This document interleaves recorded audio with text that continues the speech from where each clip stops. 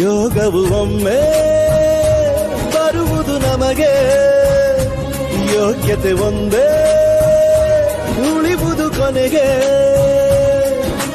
ಸೂರ್ಯನೊಬ್ಬ, ಚಂದ್ರನೊಬ್ಬ, ರಾಜನು ಒಬ್ಬ, ಈ ರಾಜನು ಒಬ್ಬ.